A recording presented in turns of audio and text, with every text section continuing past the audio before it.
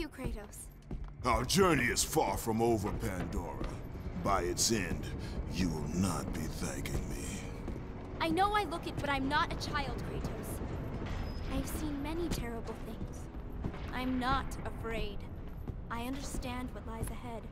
I saw Zeus torture my father. I saw him beaten because of me.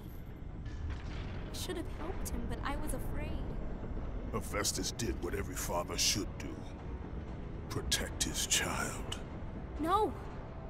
It's all my fault. I failed him because of fear. Fear is its own kind of darkness. In that darkness, I heard what the gods said about me. They called me a monster. Words mean nothing. Perhaps.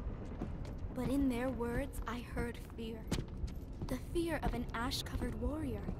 The fear of you.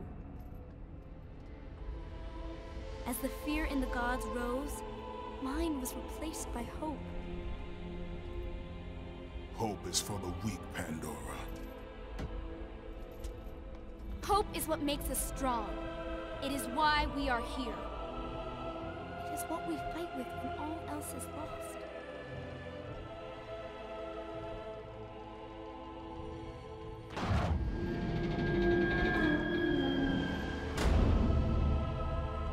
This is what hope delivers, child.